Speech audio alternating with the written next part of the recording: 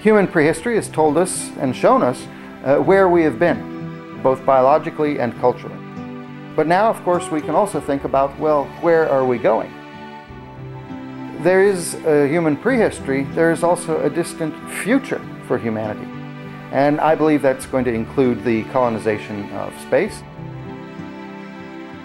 To do that, to make that possible, to give ourselves a good chance of success with those voyages, is going to require uh, everything that we know about evolution, both biologically and culturally. And there are a number of things that we can take into account to make it more likely that we'll succeed